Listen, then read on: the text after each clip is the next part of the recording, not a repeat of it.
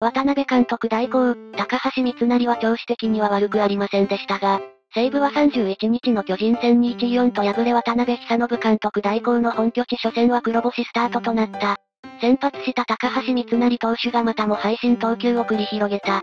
初回一死一、三塁のピンチを無失点で切り抜けたところまでは良かったものの、3回一死から丸への死球、そしてヘルナンデス、吉川、岡本、坂本の長短4連打であっけなく2点の先制を許した。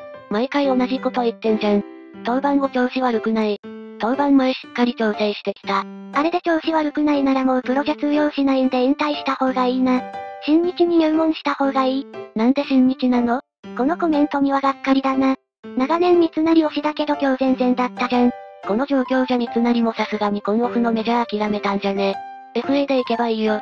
調子悪くなくてこれだとなかなか根深い問題になっちゃうね。高な調整に落として羽田上げの方が良さそうや。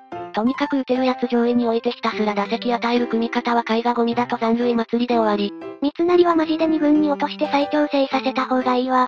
どう見てもカード頭を任せられるエースの投球じゃない。三成まさかこんなことになるとは思わんかったよ。完全に抜皮だったな三成。ことごとくピンチで点取られてチャンスで押されられた。